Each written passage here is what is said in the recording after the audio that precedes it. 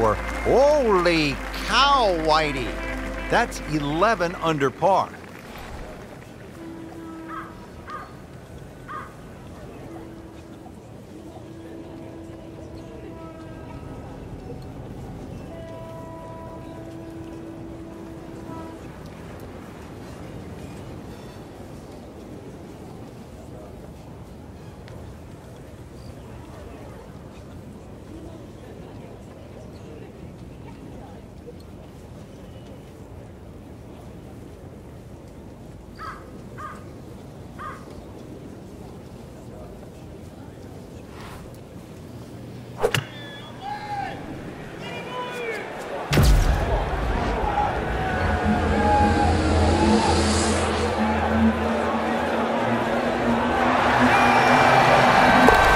My goodness, Frank.